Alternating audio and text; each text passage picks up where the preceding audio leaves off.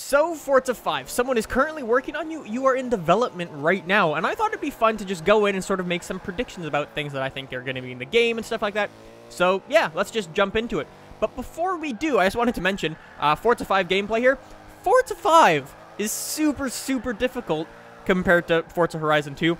I haven't played Forza 5 since Horizon came out, and the difference between them is insane. You don't realize it until you actually make the step back to Forza 5 and just like, I can't drive anymore. So ignore the sloppy gameplay and let's just go and make some predictions about Forza 6.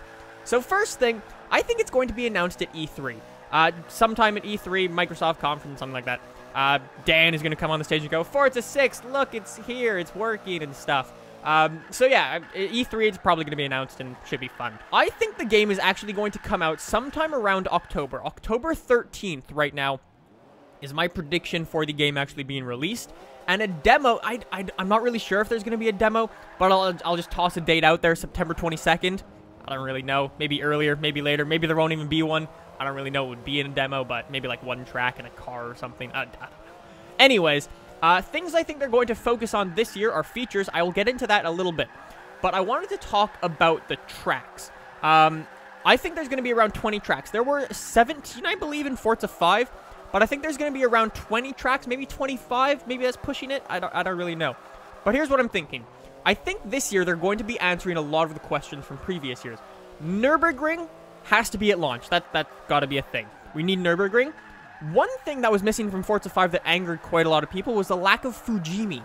Uh, you may remember that track from Forza 4. Super crazy fun track to just drive around on a crazy mountain Japanese road and do some toge or some mountain drifting. Super, super fun. I'm expecting a track similar to that, or maybe that just coming back altogether. Uh, we'll have to see, but I'm expecting that. One of my personal favorites, Suzuka. Awesome track, Japanese F1 track, and a, some type of new track I'd like to see. I, I'm fingers crossed for Imola. Imola would be so freaking cool, but I, I don't really know. I'm expecting just somewhere around 20 tracks. That'd be pretty cool. Anyways, talk about the cars. I, I'm going to say, okay, Forza 5 launched with 200 cars. That was good, but it was coming up to a new gen. They had to develop all the new car models and things like that. For Forza 6, I'm going to say 300 at launch. 300 would be fair. I'd, I'd say maybe, I don't think it'd be more than that, really. Uh, but 300 would be good. I know I know you could lift, list off cars that you want to be in the game. You could do that all day. But I'm going to say a big one, Koenigsegg 1. That has been requested very highly, and yeah. As for graphics, I don't really think there's going to be very much in terms of a graphics boost. The graphics are already really, really good in this game. Um, so yeah, I don't really think there's going to be any, any sort of graphics boost.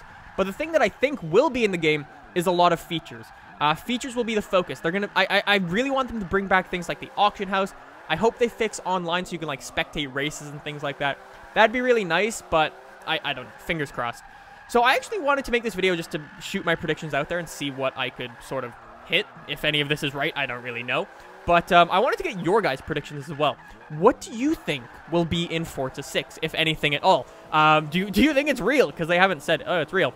But um, what do you guys think about release date, tracks, cars, and what features do you think will be in it? Let me know in the comments down below. But anyways, guys, click that subscribe button down below for all the Forza 6 news as soon as it becomes available. Anyways, guys, thank you again very, very much for watching, and I will see you in the next one.